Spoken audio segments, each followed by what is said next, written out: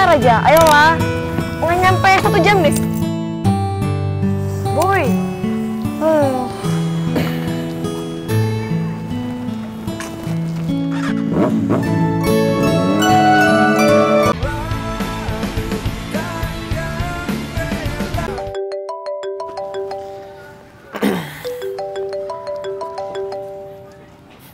Assalamualaikum, Ma.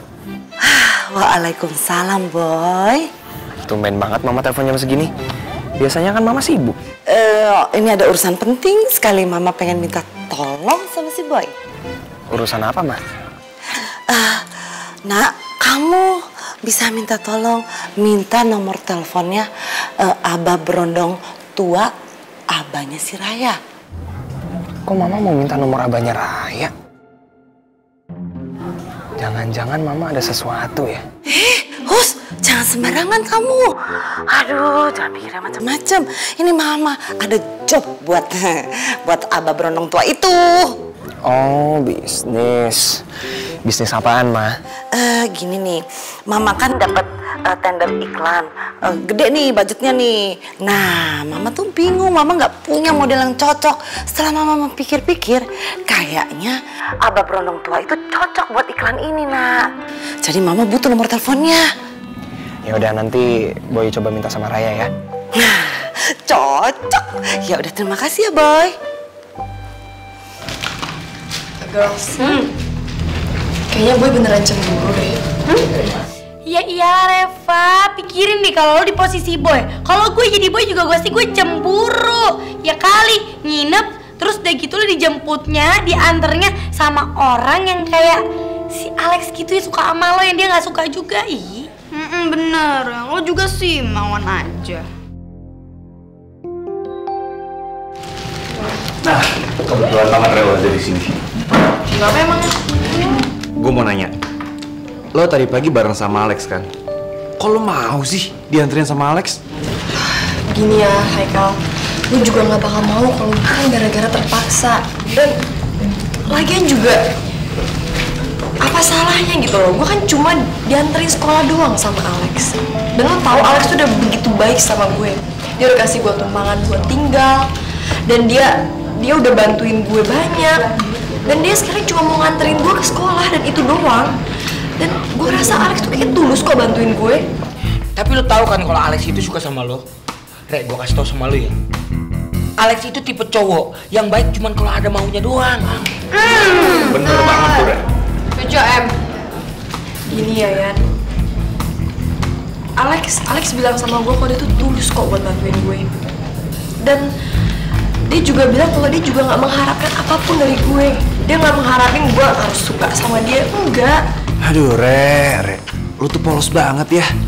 Alex itu alasan doang baik sama lu. Nih ya, gue kasih tahu. Gue sama Ian tahu banget Alex kayak gimana. Eh, eh, Ray, Ray, Ray kebetulan banget ketemu di sini, Rai. Gue mau minta nomor abah lu dong. Abang gue. Iya. Buat apaan lo, Boy? Ah, iya gini, eh nyokap gua kan mau bikin iklan. Dan dia tuh pengennya modelnya bokap lo. Wah, abah gue nih. Gak nyangka banget ya abah dapet tawarin iklan. Tapi abah gue pasti senang. Padahal kan tampangnya gahar gitu ya. Ya, rezeki kan nggak ke mana, Rai. Boleh nggak? Oh iya, boleh, boleh. Oke.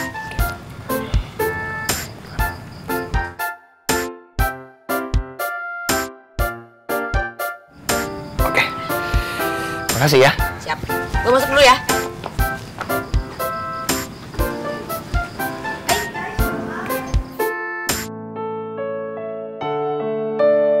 Halo, Ma.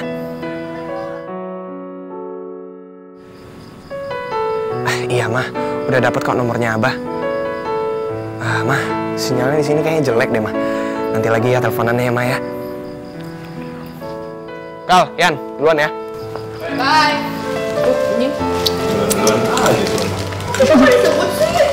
Semuanya aja. Bukan guys, bener kata gue. Gue itu marah sama gue. Duh Reva, kayaknya lo harus jelasin deh ke boy soal masalah ini. Ya nggak Beb? Iya bener kata bebek mel-mel tuh. Lo harus jelasin semuanya ke boy biar nggak jadi salah paham, Rek.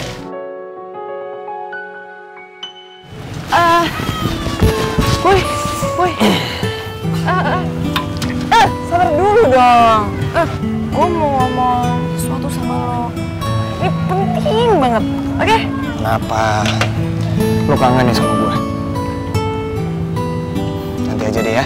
Soalnya gue buru-buru. Eh, tapi bentar aja, ayolah. Nggak nyampe satu jam deh. Boy. Hmm.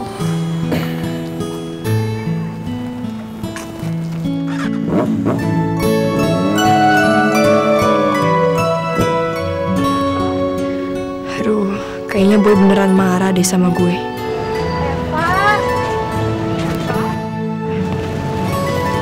Gimana? Lo udah jelasin ke boy?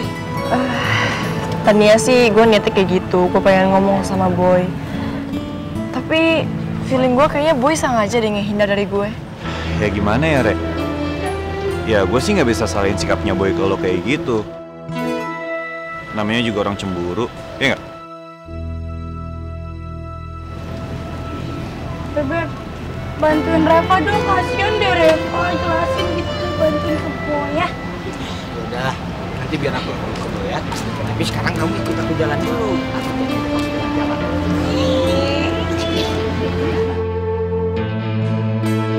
Ya udah deh, Re. Eh, hari ini lo nginep di rumah gue aja. Jangan balik lagi ke tempatnya si Alek deh. Ntar nama-nama masalah boy lagi deh. Ah, iya. Ya. Thanks ya, Ray. Jadi yuk. Ya udah aku jalan duluan ya, dadah. Dadah. Nih, sama.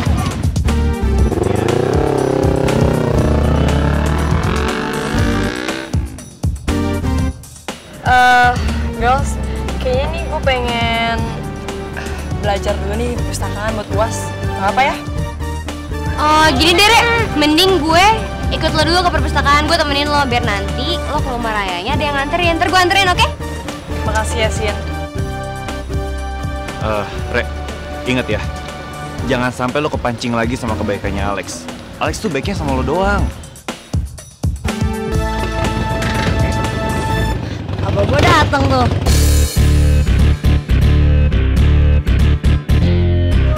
Ih, beruntung banget sih lo, Ray. Punya bakat udah cakep, keren lagi. Sayangnya dia udah tua. Apa sih lo centil banget? Emangnya lo mau sama bapak-bapak? Eh, gue kan bilangnya pas lagi muda. Oh gitu, guys. Gue duluan ya. Tapi... Dadah, Bang. Si Neng, apa pada ketawa-ketawa? Apa lucu gitu? Iya, Abah lucu katanya.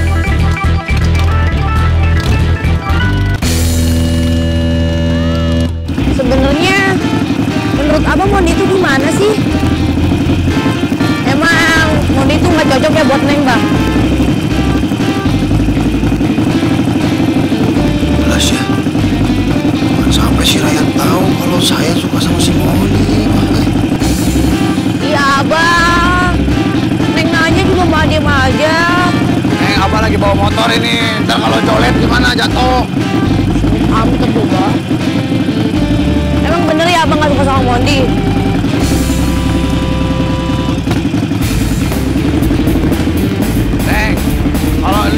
Nanya pendapat Abah, jawaban Abah, mending Neng nggak usah mikirin kebogohan, mikirin aja sekolah.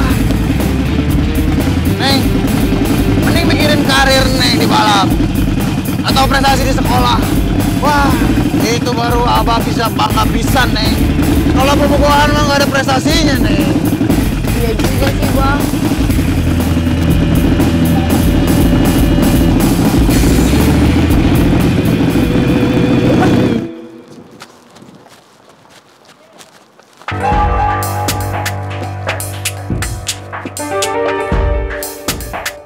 Nah apa lo? Gak suka?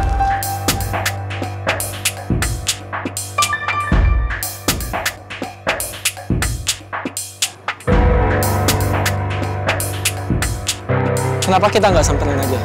Terus ngomong baik-baik. Rio itu nggak bakal bisa diajak ngomong baik-baik. Dia itu orangnya licik. Bisa aja kita diteriakin, dibilang mau nyerang sekolahan dia. Terus kita dikeroyok satu sekolahan. Mending kita cegat dia di luar. Kalau dia nggak mau menurut perintah sensei, kita paksa dia.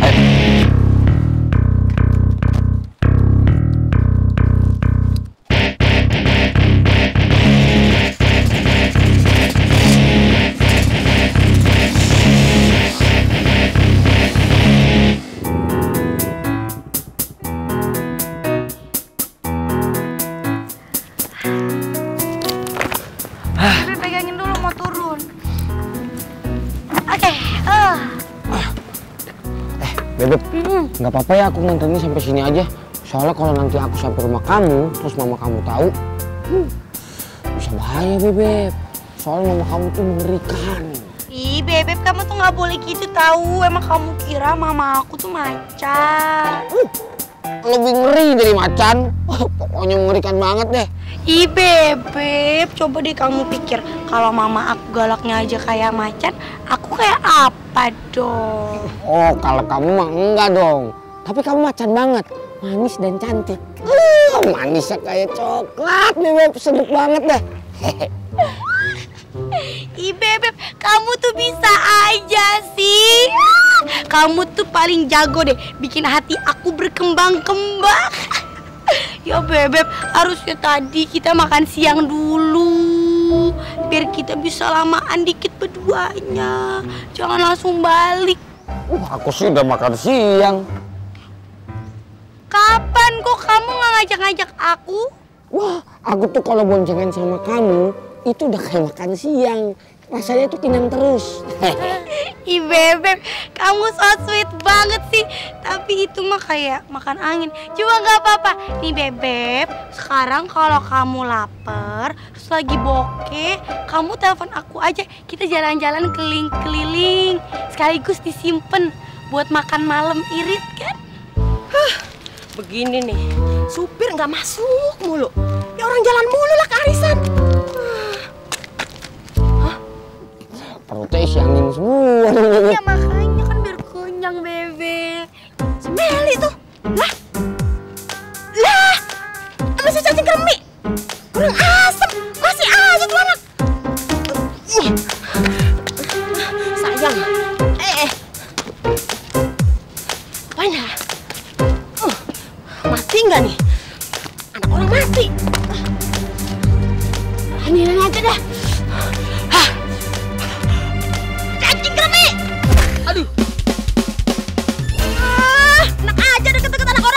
Macan beneran kamu. Ah, aku pulang. Bebek, jangan kabur, jangan kabur. Hati-hati bebek, awas bebek. Kabur, kabur bebek. Cacing kremi.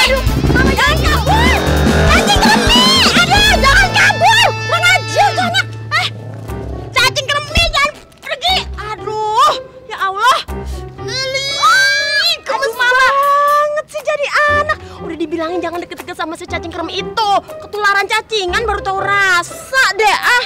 Sebel banget. Eh, kalau kamu deket-deket sama dia lagi, mama pindahin sekolah kamu ke Jogja baru tahu rasa. Jogja. Heeh. Oh, gak apa-apa mah bagus kok, Pol. Oh, boleh. Iya mama, soalnya kata Yayang Bebep Yanyan Kalau aku pindah ke Jogja, dia juga mau pindah ke Jogja Soalnya di Jogja itu dia punya encing Encingnya jualan soto Betawi, Mam What? Ya Allah, Meli nggak jadi ke Jogja. Sini aja.